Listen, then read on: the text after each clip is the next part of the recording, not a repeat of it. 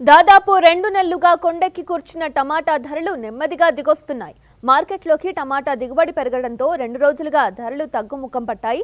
Kilo టమాటా మూడు వందల రూపాయల వరకు చేరుతుందని బెంబేలెత్తిపోతున్న పరిస్థితుల్లో సామాన్యులు పేదలను కరికనించింది. ప్రస్తుతం తెలంగాణ వ్యాప్తంగా పలు రైతు బజార్లు కూరగాయల మార్కెట్లలో కిలో టమాటా అరవై ఐదు రూపాయలకు లభిస్తోంది.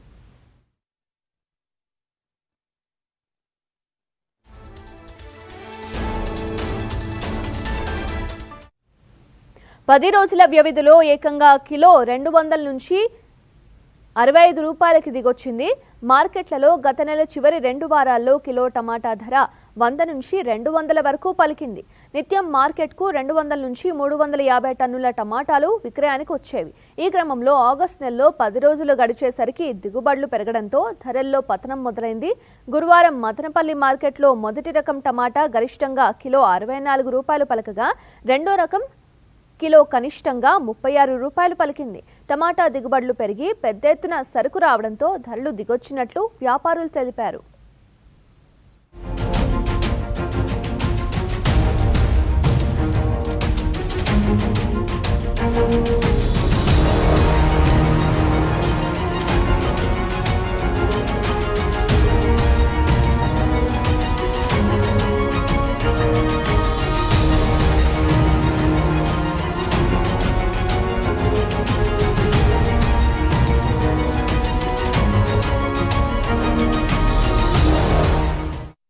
ఏపీ కర్ణాటక నుంచి అధికంగా టమాటా హైదరాబాద్కు వస్తోంది.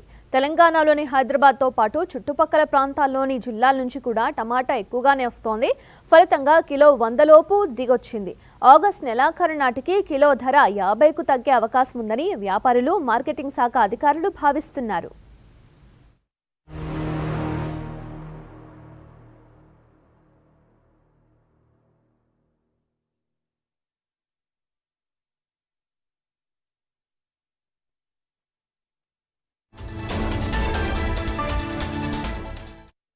మార్కెట్ చరిత్రలోనే తొలిసారిగా గత నెల ముప్పైన కిలో టమాటాలు అత్యధికంగా నూట తొంభై ఆరు రూపాయలు పలికాయి.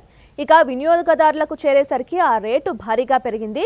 తెలుగు రాష్ట్రాల్లో కొన్ని చోట్ల రెండు వందల యాభై రూపాయల దాకా పలికింది. ఇటీవల రెండు వందల నుంచి వంద రూపాయలకు పడికిపోగా ఇప్పుడు మరింత తగ్గాయి.